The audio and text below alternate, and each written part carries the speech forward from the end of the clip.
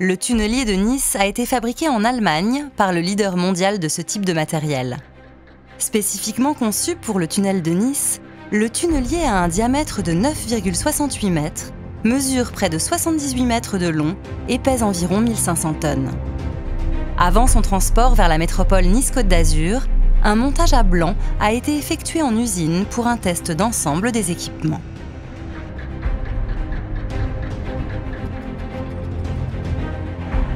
83 convois exceptionnels ont été nécessaires pour acheminer la totalité des pièces jusqu'à Nice.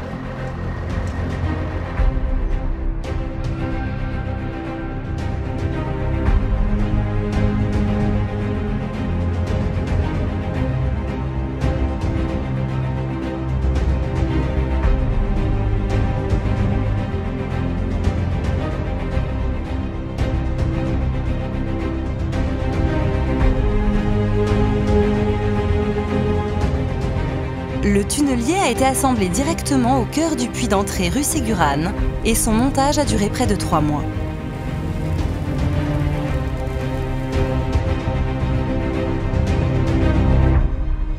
Le tunnelier a été prénommé Catherine, en hommage à Catherine Ségurane, une personnalité emblématique de la ville de Nice. Le baptême a eu lieu en janvier 2016.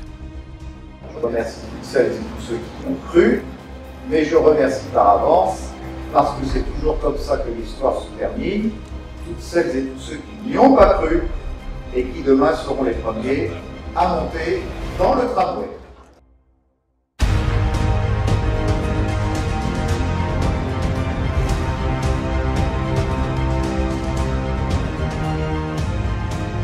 Découvrons à présent la technique du creusement.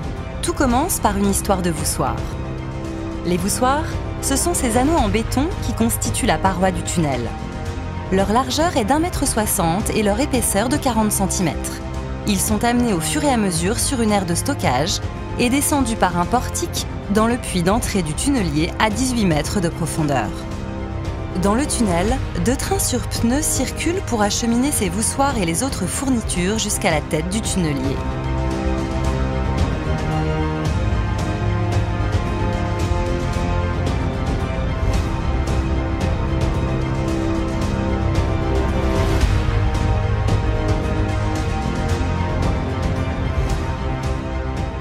Le tunnelier est une véritable petite usine souterraine.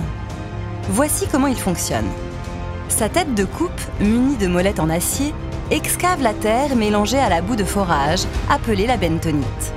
Celle-ci s'évacue dans la canalisation prévue à cet effet, emportant les matériaux vers la station de traitement située sur le port, quai Cassini.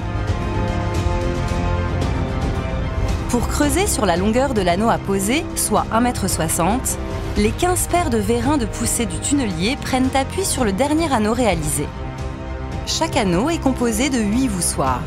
Le voussoir est positionné sous l'érecteur par un palan. Il est ensuite aspiré et mis en position suivant un plan déterminé par le pilote. Le voussoir est boulonné pour assurer la connexion entre les anneaux. Pour fermer l'anneau, un voussoir plus petit est mis en place à la manière d'une clé de voûte. L'opération est répétée 24 heures sur 24 et ne s'arrête que le dimanche. Une fois l'anneau posé, le creusement peut reprendre.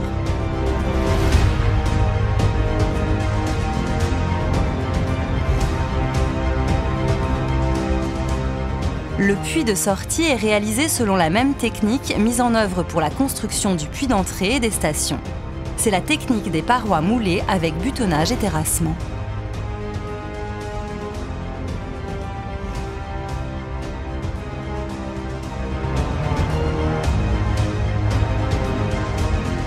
Sa mission terminée, Catherine sera positionnée dans le puits de sortie. Celui-ci est rempli d'eau pour permettre d'équilibrer la pression exercée à l'avant de la roue de coupe. Le puits sera ensuite vidé de son eau et le tunnelier démonté depuis la surface à l'aide d'un portique mobile. Au total, la pose de 1820 anneaux aura été nécessaire pour réaliser les 2,9 km de tunnel creusés par le tunnelier. Une belle prouesse technique à la hauteur de ce chantier hors norme.